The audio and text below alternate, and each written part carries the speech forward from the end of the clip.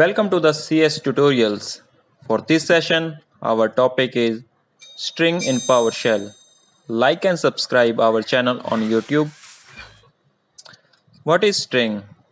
As we already discussed, PowerShell is built on .NET framework. According to the .NET definition, string is a sequential collection of characters that is used to present text. PowerShell string is simply an object of system.string type. Let's move to how we can define string in PowerShell. Anything within single quote or double quotes considered as string in PowerShell. The only difference between two is that string in double quote support string expansion while a single quote will only represent literal strings as you can see in screenshots.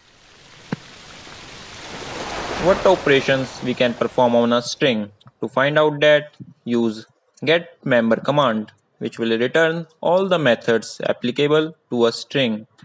We will cover few of them in this video. Length of a string. Length property will return the number of characters in a string as you can see in screenshot.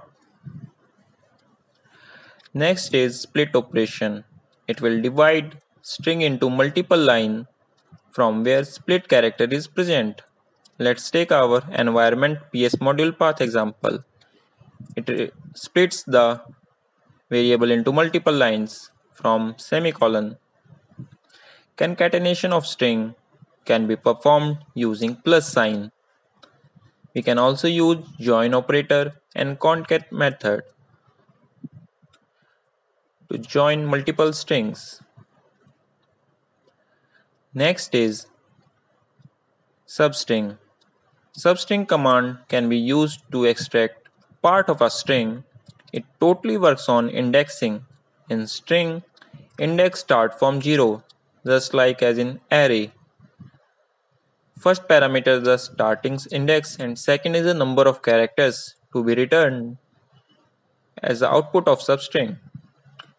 Trim operation is used to trim or remove the spaces or you can remove specific characters from beginning or end of the string.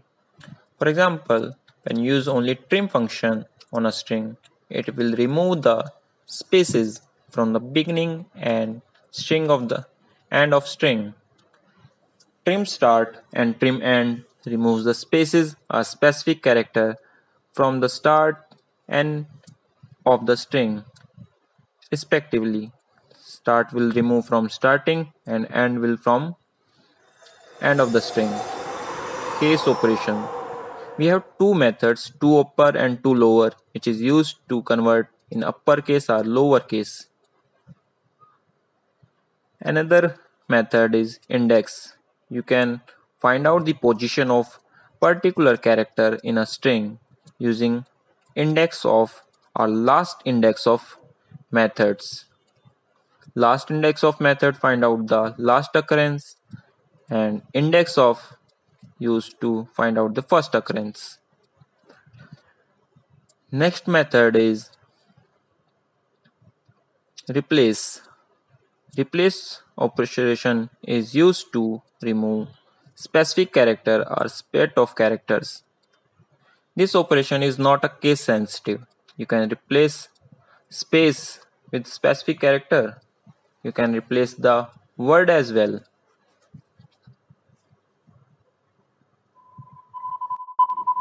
Next operation is contains. Contains function when applied on a string, it checks if the specific word exists in the string or not. This function is a case sensitive. Output will be true or false. As you can see in the second statement, it returned false because it's a case sensitive function.